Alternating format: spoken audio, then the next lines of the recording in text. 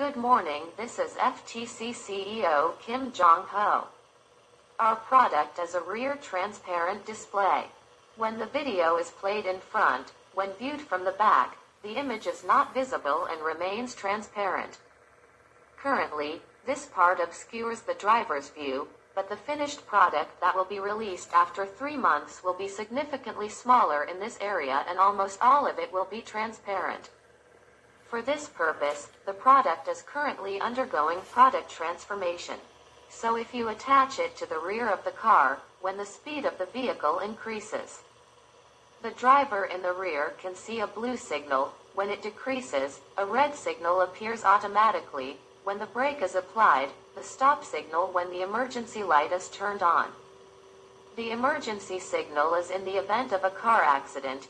Even if the driver faints as the SOS signal is transmitted, it is automatically connected to the emergency center protect the driver.